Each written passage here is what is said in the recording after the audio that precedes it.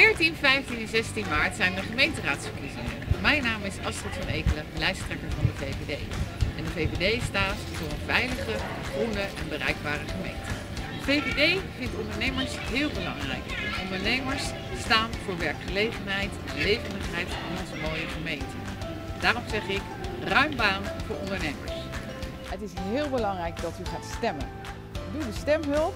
Kunt u kijken op welke partij u gaat stemmen. En ik reken op u. Dank u wel.